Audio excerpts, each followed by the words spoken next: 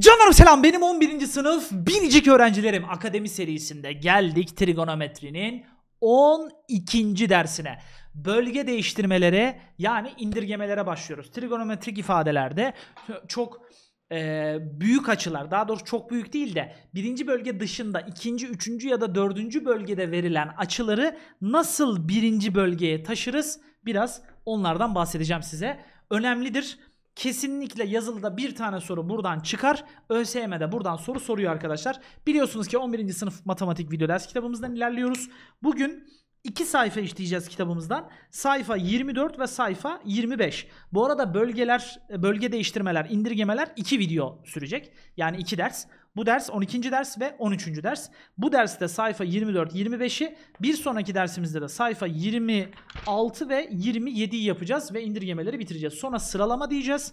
E, sıralamadan sonra teoremler, e, sonra periyot grafik, ters trigonometrik ve trigonometriyi 11. sınıf müfredatını bitirmiş olacağız. Sonra yazılıya hazırlık testleri, e, hazırlık testleri ve yazılı provamızla beraber 11. sınıf trigonometri ünitesini sonlandıracağız. Sonra ee, bir sonraki ünite olan analitik geometriyi Kenan hocanızın kanalından takip edeceksiniz arkadaşlar. Hiç vakit kaybetmiyorum ve dersime başlıyorum. Evet nereye yapacağız? Bu sayfayı yani sayfa 24'ü ve sayfa 25'i yapacağız. Sayfa 24. Şimdi trigonometrik fonksiyonların indirgenmesi. Arkadaşlar adam bize trigonometrik bir fonksiyonu trigonometrik bir fonksiyonu yani atıyorum sinüs fonksiyonunu a açısı artı teta şeklinde verdiğinde eğer buradaki A açısı 180 derece yani pi ya da 360 derece yani 2 pi ile yazılıyorsa fonksiyonun ismi aynı kalır. İsmi aynı kalır ve teta yalnız bırakılır. Eğer açımız pi bölü 2 ile yani buradaki a açısı pi bölü 2 90 derece ile ya da 3 pi bölü 2 270 derece ile yazılırsa o zaman fonksiyonun ismi değişir ismi değişir. Buradaki ismi değişirden kasıt şu.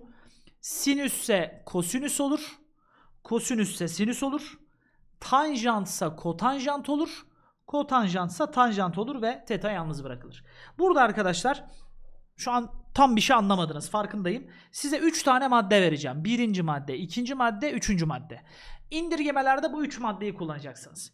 Öncelikle açının bölgesini belirleyeceksiniz. Bir bölge belirle. 2 Fonksiyonun o bölgedeki işaretini belirle. Ondan sonra da teta açısını yalnız bırak. Yalnız bırakma işlemlerini yaparken de açıyı pi ile ya da 2 pi ile mi yazdın? Acaba pi bölü 2 ile 3 pi bölü 2 ile mi yazdın? Bunlara dikkat edeceksin. Çünkü pi ve 2 pi'de isim değişikliği yok. Ama pi bölü 2 ve 3 pi bölü 2'de isim değişikliği olacak. Şimdi örneklerle çok daha güzel oturacak. Hiç merak etme. Bak şimdi birinci örneğe gel. Gel. Gel yavrum gel. Aşağıdaki ifadelerin eşitini bulunuz. Sinüs pi eksi alfa. Şimdi önce 1. Bak burada da dursun şurada 1, 2, 3 maddelerimiz. Bu maddeler e, indirgemeleri anlamak adına çok önemli. 1. Öncelikle açının bölgesini belirliyoruz. Şimdi pi eksi alfa acaba hangi bölgede bir açı sence? Pi eksi alfa hocam. Pi 180. Alfa peki nasıl bir açı? Buradaki bütün alfaları dar açıymış gibi kabul edeceğiz. Şimdi pi eksi dar açı. Mesela 180'den 30 çıkarttım. 150. 40 çıkarttım 140. 180'den bir dar açı çıkartırsan her zaman o açı ikinci bölgeye düşer. İkinci bölgede o fonksiyonun işaretini belirleyeceğiz. İkinci bölgede sinüsün işareti artı Şimdi pi ile mi yazdım 2 pi ile mi yazdım? Pi ile ve 2 pi ile yazarsan ismi aynı kalır. Ama pi bölü 2 ile ya da 3 pi bölü 2 ile yazdıysan isim değişir. İsim değiş. Peki ben bunu neyle yazmışım? Pi ile. O zaman aynı kalacak. Cevabımız artı sinüs alfa. Bu kadar. Devam gel. Kosinüs pi artı alfa. Öncelikle birinci madde. Açının bölgesini belirle. Pi artı alfa hangi bölge? Pi 180. 180'in üstüne alfa kadar açı eklersem 3. bölgeye gelir. Burada sayısal olarak düşünemiyorsan ki sayısal olarak da düşünürsün ama hani şöyle de düşünebilirsin bak. 180 burası ya 180 derece. 180 derece bu burası 180. 180 eksi alfa dediği zaman eksi yönlü açı saat yönündeki açıydı. Eksi alfa dediğim zaman buraya geldi. Bak hangi bölgeye düştük? İkinci bölgeye. Birinci soru, birinci e, şey için sinüs pi eksi alfa için. Ama 180 artı alfa dediğimiz zaman bak şöyle yapalım. Ee, şöyle gelelim. Şimdi bu 180 ya. Şu şöyle açımız şöyle 180 derece ya. 180 dereceden alfa kadar e, daha gelirsem ileriye yani artı alfa yaparsam o zaman da 3. bölgeye düşer. Yani kosinüs pi artı alfadaki açımız 3. bölgede bir açı. Peki 3. bölgede bir açı olduğunu anladık. Yani birinci şeyi maddeyi hallettik. İkinci madde ne diyor? O fonksiyonun o bölgedeki işaretini belirle. Yani kosinüs 3. bölgede işaretine eksi. O zaman buraya eksi yazdım. Peki pi ile mi yazmışım? Pi 2 pi ile mi? 3 pi bölü 2 ile mi? Pi bölü 2 ile. Pi ile. Pi ile olunca isim değişmiyor. O zaman burası eksi kosinüs alfa. Bitti. Devam ediyorum. Tanjant pi eksi alfa.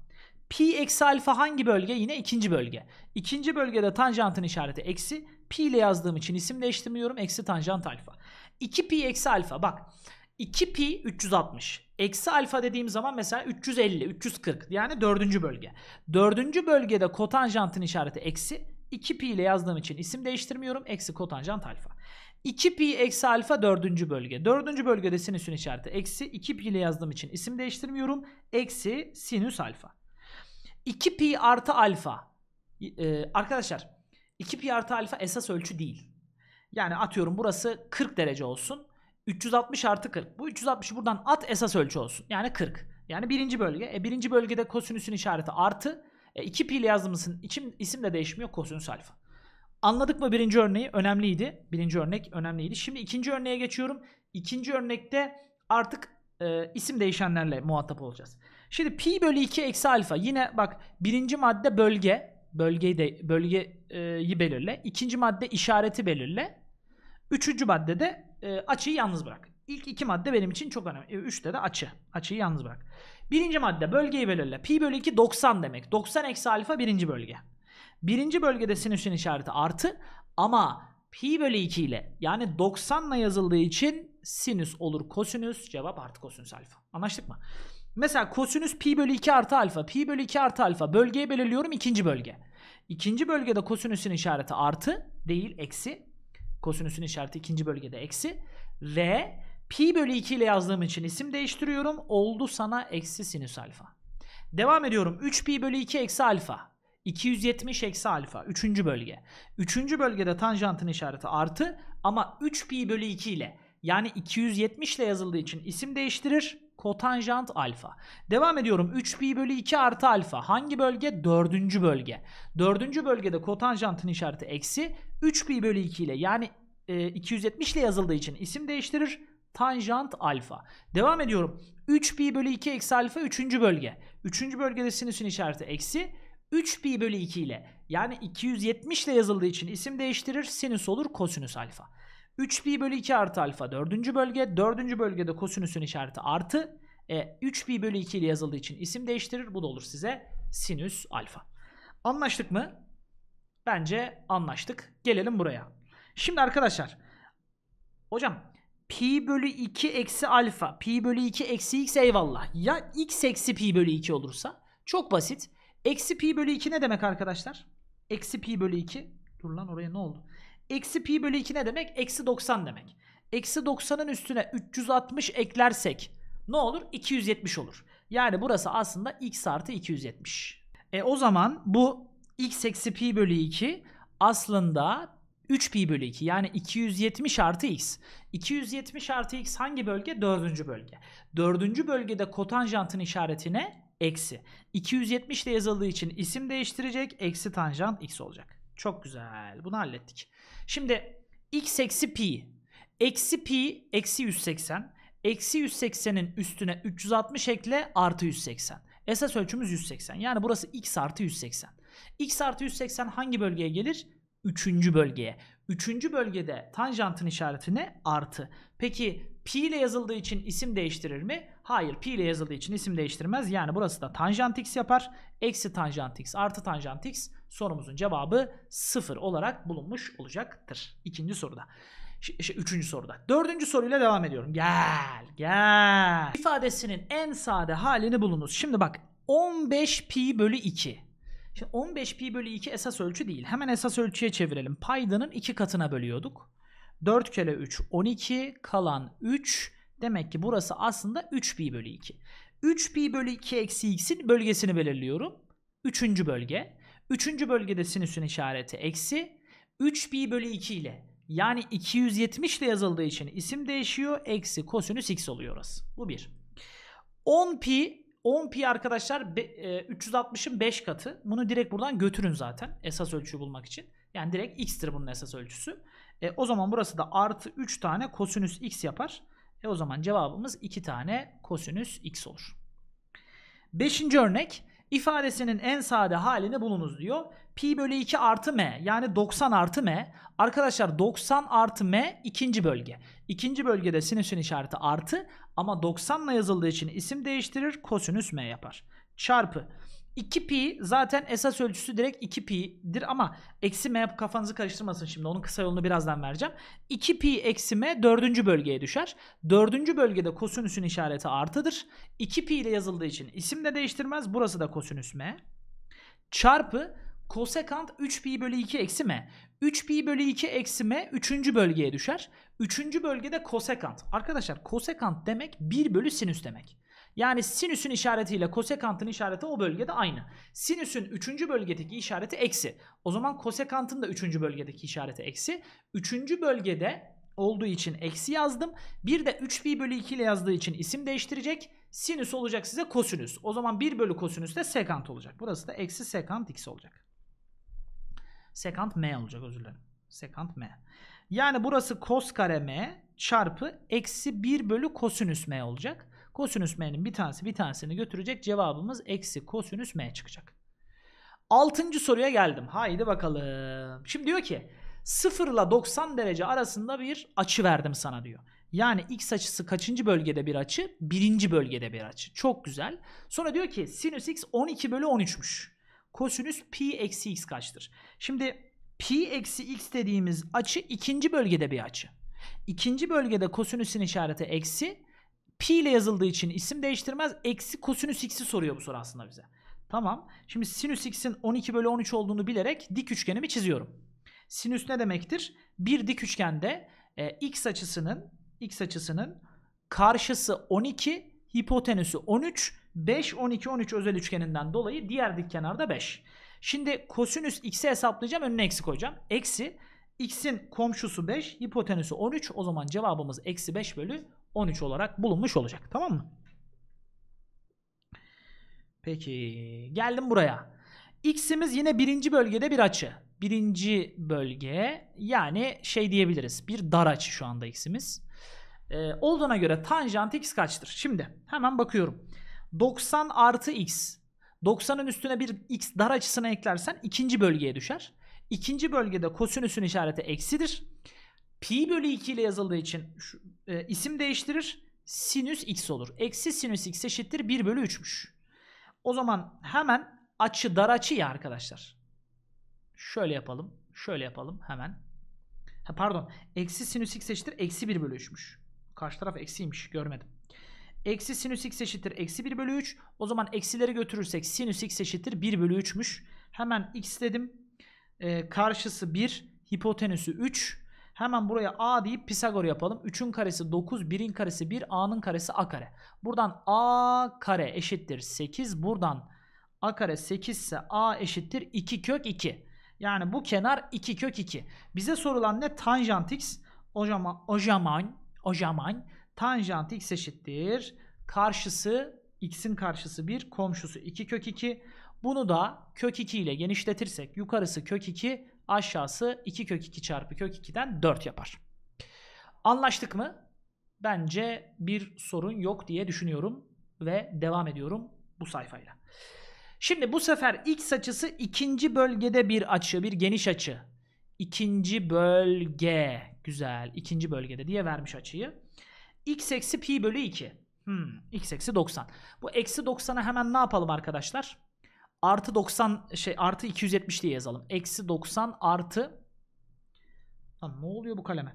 Eksi 90 artı 360'tan 270. Yani burası aslında 270 artı x. Şimdi ikinci bölgede temsili bir açı alalım. Mesela ne alalım? 100 derece alalım tamam mı?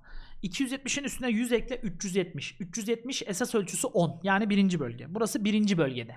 Birinci bölgede kosinüsün işareti artı ama 270 ile yazdığımız için isim değiştirir. Sinüs x yapar. Artı Şimdi burası eksi pi'nin esas ölçüsü yani eksi 180'in esas ölçüsü. Üstüne 360 eklerseniz artı 180'dir. Yani burası aslında 180 artı x yapar. E, x açısı 100 ise 280 yapar. 280 de hangi bölgeye gelir? 280 3. bölgeye gelir. Şey 4. bölgeye gelir. Ne 3'ü? 4. bölgede sinüsün işareti eksidir. Eksidir. Ee, ve pi ile yazıldığı için isim değiştirmez. Burası da eksi sinüs x yapar. Artık paydanın bir önemi kalmadı ama paydayı da yazalım. 3 pi bölü 2 270. 270'in üstüne 100 ekledim. 370. 370 esas ölçüsü 10. 370 eksi 360'tan 10. Birinci bölge. Birinci bölgede kosinüsün işareti artı. 3 pi bölü 2'den dolayı isim değiştirir. Sinüs x olur. E, yukarısı 0 olduğu için sorumuzun cevabı zaten direktman kaça eşit olacak? 0'a eşit olacak. 9 ile devam ediyorum. En sade halini bulunuz diyor. Hemen başlıyorum bak. 90 eksi A. Bu arada A açısının bölgesini belirlememiş. Belirlememişse A açısını dar açıymış gibi alacaksınız. 90 eksi A. Kaçıncı bölge? Birinci bölge. Birinci bölgede sinüsün işareti artı ama 90'dan dolayı isim değiştirir. Sinüs olur sana kosinüs. Kosinüs A artı. E, eksi 15 pi'nin esas ölçüsü arkadaşlar üstüne 16 pi eklerseniz pi. Yani burası pi artı a. Pi artı a hangi bölgeye gelir? Üçüncü bölge. Üçüncü bölgede kosinüsün işareti nedir? Üçüncü bölgede kosinüsün işareti eksidir. O zaman buraya eksi yazacağım. Şimdi bak bu 3 pi bölü 4'ü pi bölü 2 artı pi bölü 4 diye düşün. Artı a. Yani bunu bir açı olarak düşün. Pi bölü 2 yani 90 artı bir açı.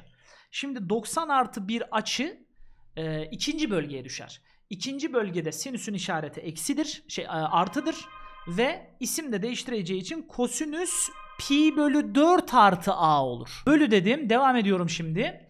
E, sinüs 3 pi bölü 2 eksi a. 3 pi bölü 2 270 270 eksi a ikinci, e, üçüncü bölge üçüncü bölgede sinüsün işareti eksi 3 pi bölü 2'den dolayı isim değiştirdi kosinüs a. Şimdi kosinüs eksi a. Şimdi eksi a diye bir açının esas ölçüsü ne olur? Mesela eksi 30'un 360 eksi 30 olur. O zaman eksi a'nın esas ölçüsü de 360 eksi a olur. 360 eksi arkadaşlar 3. 4. bölgededir. 4. bölgede kosinüsün işareti artıdır. 360'tan dolayı isim değiştirmez. Kos a olur. Yanında da kosinüs pi bölü 4 artı a var. Bak bu bunu götürdü. Bu da bunu götürdü. Bunlar da zaten pi bölü 4 artı a kosinüs de aynı. O zaman bir cevabımız oldu. Tamam mı? Bence güzel bir uygulama sorusuydu. Şimdi güzel bir özelliğimiz var. Bak, biraz böyle artık kısalara, korsanlara kaçacağız. Bitireceğiz bu trigonometriyi. Güzel bir güzel bak bu güzel. Şimdi gel. Birbirini 90 dereceye tamamlayan açıların tümler sin kos değerleri tümler sin kos değerleri sin kos değerlerine eşit. Ee, tan kot değerleri de aynı şekilde tan kot değerlerine eşit. Yani tanjant ve kotanjant birbirlerini 90 dereceye tamamlarlar. Yani arkadaşlar sinüs alfa kosinüs 90 eksi alfadır. Kosinüs alfa da sinüs 90 eksi alfadır. İspatlayalım. Birinci bölge. Birinci bölgede kosinüsün işareti artı 90'dan dolayı isim değişir sinüs alfa. Diğeri de kosinüs alfa çıkacak. Tanjant alfa kotanjant 90 eksi alfadır. E, kotanjant alfa da tanjant 90 eksi alfadır. Bu açıyla bu açıyı toplarsanız alfa ile 90 eksi alfanın toplamı 90 derece olduğu için bu açılar birbirlerinin neleridir? Tümleridir. Tümler açıların kotanjantıyla tanjantı kosinüsüyle sinüsü, sinüsüyle kosinüsü, tanjantıyla kotanjantı eşittir. Birbirini 180 dereceye tamamlayan açıların bütünler sinüs değerleri birbirine eşit. Diğer değerler de birbirlerinin eksilerine eşittir. Ne demek istiyorum? Yani sinüs alfa sinüs 180 eksi alfadır. Yani arkadaşlar sinüs kendisini 180 dereceye tamamlar. Ama diğerlerinde kosinüs alfa yazacaksam buna eksi kosinüs 180 eksi alfa yazmam gerekir. Bu tanjant alfaya eksi tanjant 180 eksi alfa yazarım. Kotanjant alfaya da eksi kotanjant 180 eksi alfa yazarım. Yani şundan bahsediyorum. 40 derecelik bir açı var diyelim. Mesela sinüs 40. Arkadaşlar sinüs 40 direkt sinüs 140'a eşittir. Yani sinüs kendisini 180'e tamamlar. Ama kosinüs 40 demek eksi kosinüs 140 demektir. Mesela tanjant 150 demek eksi tanjant 30 demektir. Ama sinüs 135 demek direkt sinüs 45 demektir. Yani sinüs kendini 180'e tamamlar. Diğer kosinüs, tanjant ve kotanjantlarda bu durum eksilere gider. Bunun sebebi de şudur arkadaşlar. Sinüs 180 eksi alfada bakın bu ikinci bölge. İkinci bölgede bir tek sinüs artıdır. O yüzden bu direkt artı sinüs alfadır. Ama kosinüs 180 eksi alfaya baktığınız zaman ikinci bölgede kosinüs eksi olduğu için bu eksi kos alfadır. Aynı şey kotanjant için ve tanjant için de geçerlidir. Tamam mı? Şimdi m artı n 180 derece ise yani ne diyor? m artı n bütünden açılarsa cos m çarpı sin n. Bak m çarpı n 100, m artı n 180 ise burada kosinüs m çarpı sinüs n yerine kosinüs m yazabilirim. Çünkü sinüs şey pardon e, sinüs n yerine sinüs m yazabilirim. Çünkü sinüs kendi içerisinde kendini 180 dereceye tamamlar. Bölü aşağıda da sinüs m var. Onu bırakayım sinüs m'yi. E, kosinüs n yerine de eksi kosinüs m yazabilirim. Çünkü kosinüsün bütünler açılardaki olayı eksileriydi. Sinüs de kendisiydi. Çarpı kotanjant m bölü eksi kotanjant m. Kotanjant n yerine de eksi kotanjant m yazabilirim. E, sinüs m'ler gitti. Bunlar da gitti. Burada eksi 1 kaldı. Bunlar gitti. Burada da eksi 4 kaldı. Çarpınca cevabımız artı 4 olarak bulunmuş oldu. 11 Diyor ki kosinüs 25a'ya eşitse eksi sinüs 115 artı kosinüs 155. Şimdi kosinüs 25a'ya eşitse bak kosinüs 155 155 ile 25 birbirinin bütünleri. Yani kosinüs 25 demek aslında eksi kosinüs 155 demek. Eksiye tamamlıyordu. Kosinüs, tanjant, kotanjant bütünler açılarda birbirlerinin eksilerine eşitti. Sinüs direkt 180'ine eşitti. Yani kendine tamamlıyordu. Şimdi o zaman bu kosinüs 55 yerine ne yazabilirim arkadaşlar? Kosinüs 25 yazabilirim. Ama bunun eksilisini yazmam gerekir. Çünkü artıyı buraya geçir, eksiyi buraya geçirirsem kos 155 eksi kos 25. Şimdi sinüs 115. Bakın kosinüs 25a ise 25'i 90 dereceye tamamlayan açı 65 olduğu için sinüs 65 de a'dır. Sinüs 65 a ise sinüs kendini 180'e tamamladığı için sinüs 115 de a'dır. Yani arkadaşlar ee, burada sinüs 115 yerine a yazabilirim. Şuraya geldim. Şöyle a yazdım. O zaman orası eksi a yaptı. Şunu silelim. Peki kosinüs 155 yerine ne yazabilirim? Eksi kos 25. E kos 25 de a'ydı. O zaman oraya da götürdüm. Eksi a yazdım. Eksi a eksi a'dan sorumuzun cevabı ne geldi? Eksi 2a gelmiş oldu. Cevap eksi 2a'ymış. Tamam mı canlarım? Peki son sorumuza geldim. Veriliyor buna göre 2a artı 3b ifadesinin değeri kaçtır diye soruyor. Şimdi arkadaşlar bakın sinüs 2 sinüs 2 sinüs e, kosinüs 88'e eşittir. Tamam mı? Aynı şekilde sinüs 88'de kosinüs 2'ye eşittir. Bak burada sin kare 2 var. Burada sin kare 88 var. Aslında bu kos kare 2. Burada sin kare 4 var. Bu sin kare 88'den önce de sin kare 86 var. 2 2 azalıyor. Sin kare 86'da kos kare 4'tür. Yani bak şimdi sin kare 2 kos kare 2 1. Sin kare 4 kos kare 4 1. Sin kare 6 kos kare 6 1 1 1 1 1. A'dan birlerden A birlerden oluşuyor. Peki kaç tane? Hemen terim sayısını bulalım. Son terim 88. İlk terim 2. Artış miktarı 2 artı 1. 86 2'ye böl 43 bir ekledim 44. Yani A'nın içerisinde 44 tane terim var. Bunları tam ortadan 2'ye böleceğim. Çünkü 44 tane terim var ama ikili ikili 1'e eşit oluyorlar. Demek ki aslında burada 22 tane 1 var. 22 tane 1 olması A'nın 22 çarpı 1'den 22 olması demek. Şimdi B'ye geldim. B'de de tanjant 2, tanjant 4, tanjant 88. Bak tanjant 88 demek aslında kotanjant 2 demek. E tanjant 2 çarpı kotanjant 2 1. Çünkü tanjant alfa çarpı Kotanjant alfa çarpı tanjant alfa neydi arkadaşlar? Her zaman 1'e eşitti. E o zaman tanjant 4 kotanjant 4 1. Tanjant 6 kotanjant 6 1. Oradan da B kaç gelecek arkadaşlar? 1 gelecek. E o zaman B 1. E, A da 22. O zaman 2A 2 çarpı 22. 3B de 3 çarpı 1. 2 çarpı 22 44. Bir de artı 3 var. 44 artı 3'ten sorumuzun cevabı 47 olarak bulunmuş olacak. Aha da geleyim şurayı şöyle bir yuvarlak içerisine içeri, içerisine alayım. Canlarım şimdi trigonometrik indirgemelerin ilk iki ilk dersini bitirdik. Ee, bölge değiştirmeleri tane tane anlatmaya çalıştım. Şimdi biraz daha zıpır sorular gelecek aslında 13. derste. Bölge değiştirme, indirgeme ikinci dersimizde. Yani trigonometrinin 13. dersinde. Bu sayfayı işleyeceğiz. Yani 26'yı işleyeceğiz. Bir de e, bunun yarısını işleyeceğiz. Yani 27'nin soluna yani 22'ye kadar sonra zaten trigonometrik fonksiyonların sıralaması gelmiş olacak. Size bazı soruları yıldızlatacağım. işaretleteceğim daha doğrusu. Bu soruları tekrardan bir bakmanızı istiyorum. 11'e tekrardan bir bakın arkadaşlar. 9. soruya tekrardan bir bakmanızı istiyorum. 8. soruya tekrardan bir bakmanızı istiyorum. 7. soruya bakmanızı istiyorum. Ve 5. soruya tekrardan bakmanızı istiyorum.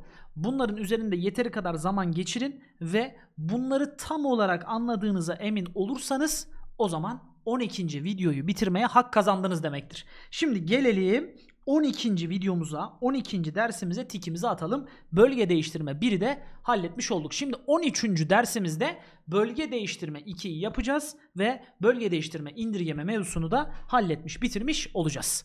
13. dersimizde görüşmek üzere. Hepinizi seviyorum. Kendinize iyi bakın. Hoşçakalın.